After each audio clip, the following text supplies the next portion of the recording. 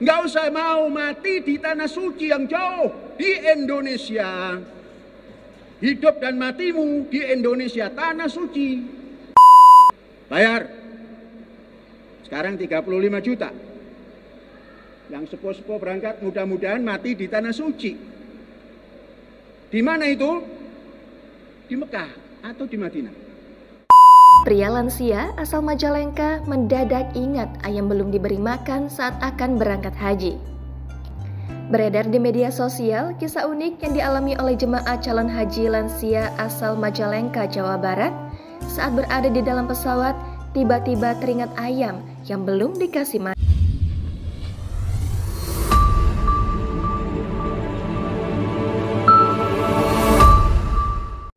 Assalamualaikum warahmatullahi wabarakatuh. Selamat datang kembali di channel Once Official. Teman-teman semuanya di mana pun kalian berada Semoga kalian selalu dalam keadaan sehat walafiat. Tidak kurang suatu apa pun dan tentunya semoga kita semuanya selalu dalam lindungan Allah subhanahu wa ta'ala. Amin amin ya Allah ya rabbal alamin. Setelah viralnya pernyataan Panji Gumilang beberapa hari yang lalu yang mengatakan bahwasanya Indonesia adalah tanah yang suci lalu disambung lagi dengan kata jangan mau mati di tanah suci Mekah dan Madinah Suci. Indonesia tanah suci. Nggak usah mau mati di tanah suci yang jauh di Indonesia. Hidup dan matimu di Indonesia tanah suci. Bayar. Sekarang 35 juta. Yang sepo-sepo berangkat mudah-mudahan mati di tanah suci. Di mana itu? Di Mekah atau di Madinah. Tahu anak-anakku? Orang yang mati di Mekah dilonjorkan saja bruk, tidak ada tanda. Mau yang begitu kok bayar 35 juta. Tak perlu menunggu lama pernyataan ini pun seolah mendapatkan tamparan dengan berita yang baru-baru ini sedang viral yaitu seorang kakek-kakek yang hendak berangkat ke tanah suci untuk melaksanakan ibadah haji namun ketika dia di dalam pesawat sedang terbang menuju Mekah tiba-tiba si kakek ini pun minta diturunkan karena teringat kepada hewan piaraannya belum dikasih makan. Seperti apa video lengkapnya? Kita simak berikut ini. Pria lansia asal Majalengka mendadak ingat ayam belum diberi makan saat akan berangkat haji.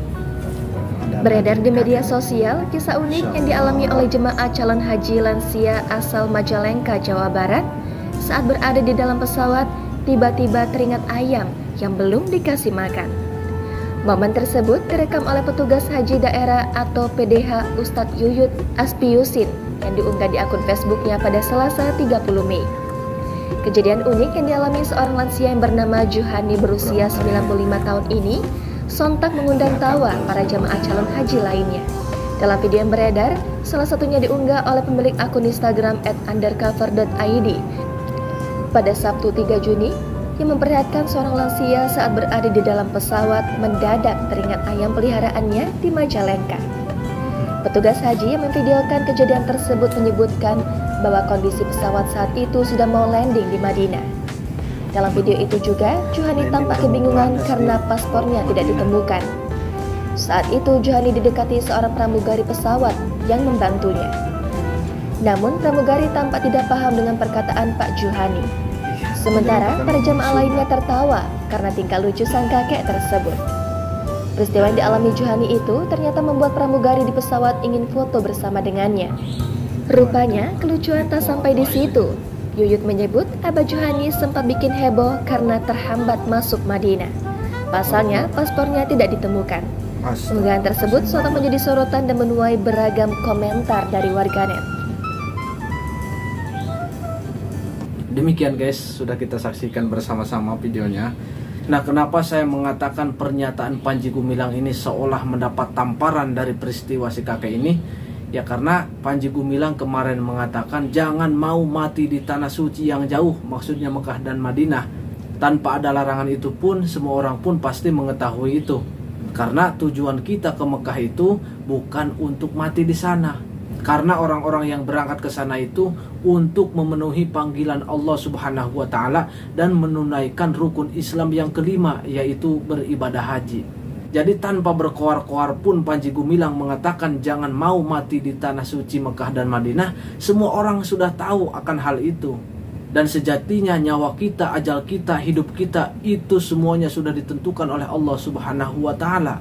Adapun orang-orang yang meninggal di sana itu bukan kehendak mereka, itu bukan keinginan mereka, melainkan ajalnya sudah sampai, melainkan ajalnya atau kematiannya sudah dituliskan oleh Allah Subhanahu wa taala di dalam catatan takdir dia akan meninggal di sana. Jadi ya sudahlah gak usah membuat pernyataan-pernyataan yang ngawur, yang kontroversi yang membuat umat ini bingung gitu.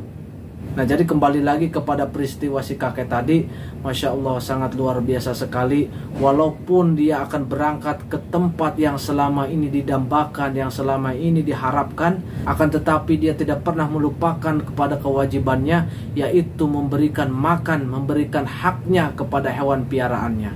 Jadi si kakek ini sangat luar biasa sekali. Tidak mau menzolimi hewan piaraannya Tidak mau menzolimi makhluk-makhluknya Allah subhanahu wa ta'ala jadi jelas sekali peristiwa si kakek ini menunjukkan bahwasanya orang-orang yang berangkat ke tanah suci, orang-orang yang berangkat ke Mekah dan Madinah itu bukan bercita-cita untuk mati di sana. Mereka masih berharap agar bisa kembali lagi ke tanah kelahirannya yaitu Indonesia, agar bisa berkumpul dengan keluarganya, anaknya, cucunya dan kerabat-kerabat lainnya dan juga si kakek ini agar bisa memberi makan hewan piaraannya.